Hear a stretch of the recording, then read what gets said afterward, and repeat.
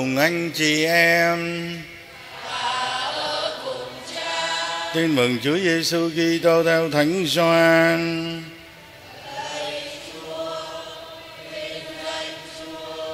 Vào dịp lễ vượt qua năm ấy, trong số những người lên Jerusalem thờ phượng Thiên Chúa, có mấy người Hy Lạp. Họ đến gặp ông Philippe, người Bethsaida miền Galilee và xin rằng thưa ông, chúng tôi muốn được gặp ông Giêsu. Ông Philippe đi nói với ông Andre. Ông Andre cùng với ông Philippe đến thưa với Đức Giêsu. Đức Giêsu trả lời: đã đến giờ con người được tôn vinh thật thầy bảo thật, anh em, nếu hạt lúa gieo vào lòng đất mà không chết đi, thì nó vẫn trơ trọi một mình còn nếu chết đi, nó mới sinh được nhiều hạt khác ai yêu quý mạng sống mình thì sẽ mất. Còn ai coi thường mạng sống mình ở đời này thì sẽ giữ được cho sự sống đời đời. Ai phục vụ thầy thì hãy theo thầy, và thầy ở đâu, kẻ phục vụ thầy cũng sẽ ở đó. Ai phục vụ thầy, cha thầy sẽ quý trọng người ấy. Bây giờ tâm hồn thầy sao xuyến? Thầy biết nói gì đây? Lạy cha, xin cứu con khỏi giờ này nhưng chính vì giờ này mà con đã đến, lạy cha, xin tôn vinh danh cha. Bấy giờ có tiếng từ trời vọng xuống, ta đã tôn vinh danh ta ta sẽ còn tôn vinh danh nữa. Dân chúng đứng đó đó nghe và liền nói, đó là tiếng sấm. Người khác lại bảo, tiếng một thiên thần nói với ông ta đấy. Đức giêsu đáp tiếng ấy đã vọng xuống không phải vì tôi mà vì các người. Giờ đây đang diễn ra cuộc phán xét thế gian này. Giờ đây thủ lãnh thế gian này sắp bị tống ra ngoài. Phần tôi một khi được dương cao lên khỏi mặt đất, tôi sẽ kéo mọi người lên với tôi. Đức giêsu nói thế để ám chỉ người sẽ phải chết cách nào? Đó là lời chúa.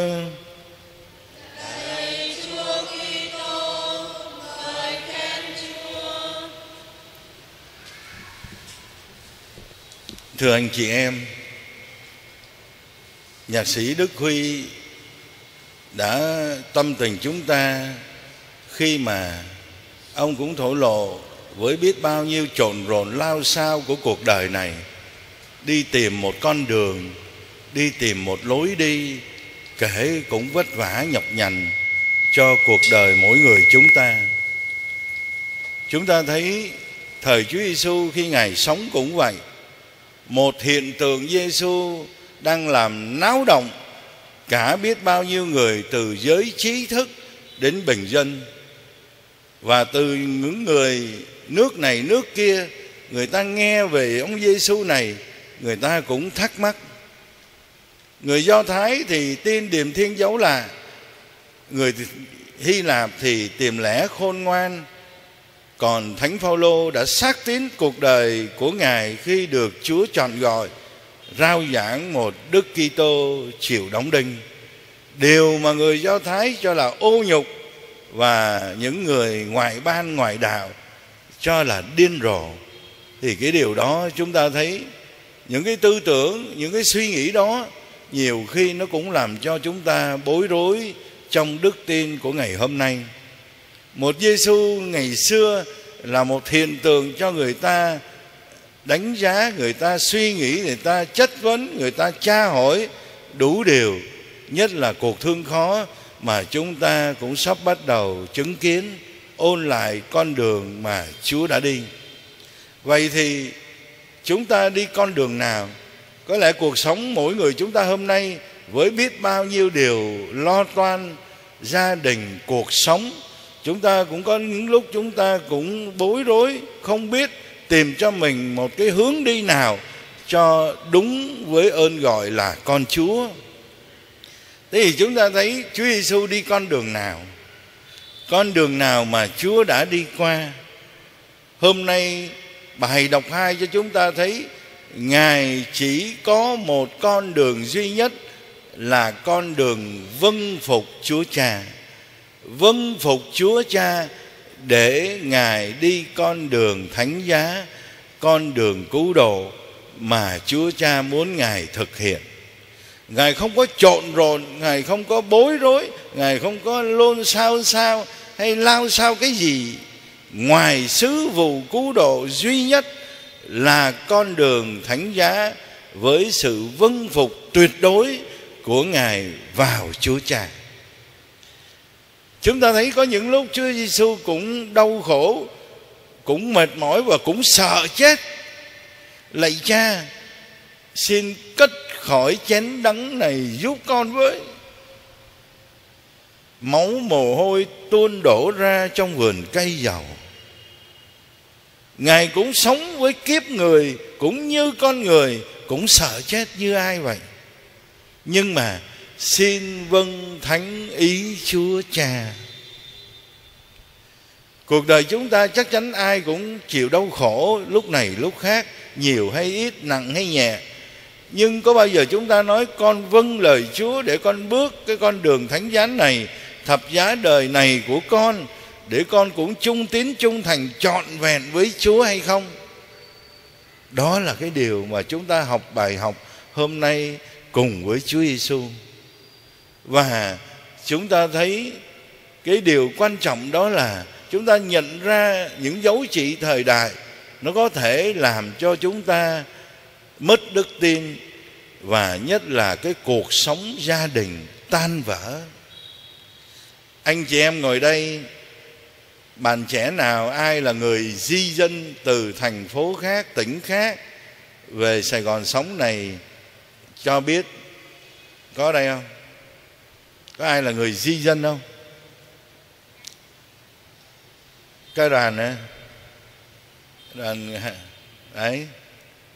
Thế anh chị em ờ, sống ở đây là cả gia đình đến đây hay là chỉ có một người vợ hay một người chồng vào thành phố lớn làm việc rồi gửi tiền về? Đây là vấn đề nhức nhối của chúng ta người ta đặt ra câu hỏi, tại sao đời sống di dân hôm nay ly dị quá nhiều? Lý do ở đâu? Và gia đình công giáo cũng xảy ra những chuyện đó rất nhiều. Và thậm chí không phải di dân từ trong một nước như Việt Nam chúng ta, mà bây giờ vấn nạn là những năm gần đây chúng ta thấy xuất khẩu lao động. Những gia đình trẻ hoặc vợ hoặc chồng đi lao động nước ngoài. Và đó là mầm móng của gia đình tan vỡ. Và người ta cũng đặt câu hỏi là làm cách nào đây? Khi mà di dân để đi kiếm miếng cơm manh áo ở những thành phố lớn, khi mà di dân ra nước ngoài xuất khẩu lao động cũng để cho gia đình khấm khá hơn với cuộc sống, kinh tế, vật chất, nhưng mà lại tan vỡ gia đình, nghĩa là làm sao? Anh chị em thấy không? Một người vợ hay một người chồng làm việc ở đây, chồng hay vợ với các con ở nhà quê, khi làm việc ở đây được thăng chức, được đãi ngộ, được thế này thế kia xong, bắt đầu cám dỗ cám dỗ tình cảm thế này thế kia, rồi bỏ bê gia đình của mình, rồi đi theo tiếng gọi mới, xảy ra rất nhiều. Ở nước ngoài cũng vậy, giờ lao động hàn quốc, trung quốc cũng có, nhật bản cũng có, thậm chí cả mỹ, canada, vân vân. Thấy đời sống bên đó bắt đầu được rồi có người quen khác giới, rồi quen nhau, anh nở như vợ chồng, rồi bỏ bê vợ con ở việt nam. Thế thì có nhiều người bảo, thà đừng đi hợp tác lao động, thà đừng di dân.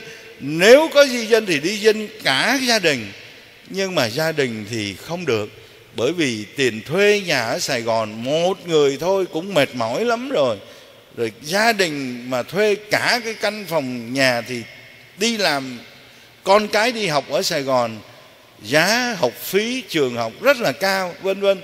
Đúng rồi, một người hy sinh ra đi để cả nhà được nhờ. Nhưng thay vì hy sinh ra đi được cả nhà nhờ thì mất luôn. Thấy không? Đây là vấn nạn thời sự mà cả giáo hội chúng ta đang đề ra cách nào đây? Thì cách gì bây giờ là cách chung thủy, chung tiếng với vợ con mình, với chồng con của mình ngay từ đầu.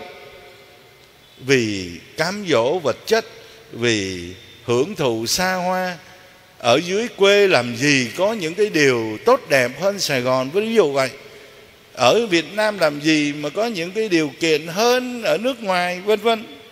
Đi rồi đi luôn, bỏ luôn gia đình, tan nát cả gia đình. Cho nên thánh giá của chúng ta đấy. Nếu như chúng ta không có một lòng trung thủy, nếu như chúng ta không thấm nhuận lời Chúa, vì Chúa Giêsu cũng phải chịu đau khổ. Nếu như ngài không chịu đau khổ được, thì ngài cũng đâu có vâng lời Chúa Cha được. Cho nên, mỗi người hôm nay, chúng ta dâng thánh lễ này, cầu nguyện đặc biệt cho những gia đình di dân biết chung tín trọn vẹn với đời sống hôn nhân của mình, nhất là hãy vì con cái. Con cái nó còn nhỏ mà mất cha hay mất mẹ, thì đời sống lớn lên của nó thiếu thốn đủ thứ về tinh thần cũng như thể xác.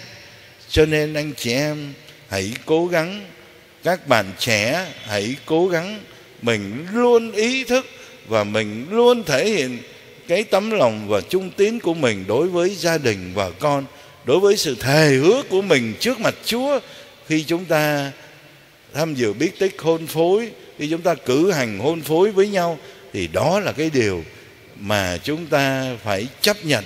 Như thế nào đi nữa, cũng là vợ con của tôi là nhất, chồng tôi, vợ con tôi là nhất. Tất cả cái điều đó, đừng để những cái cám dỗ phù phiếm, xa hoa, trì lạc của những nơi mới đến mình tưởng rằng là ngon lành, nhưng mà hóa ra chắc chắn điều đó để lại cái cánh rứt lương tâm của một con người có đạo là con Chúa.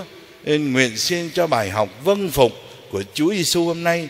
Nguyện xin cho những điều mà Chúa Giêsu bắt đầu thực hiện trong cuộc thương khó của người, trong tin mừng, để làm cho mọi người người ta không phải chú ý về một Giêsu để nổi tiếng vì tài anh nói hay là việc làm, hơn là nhìn ra một Giêsu là đứng cứu độ trần gian.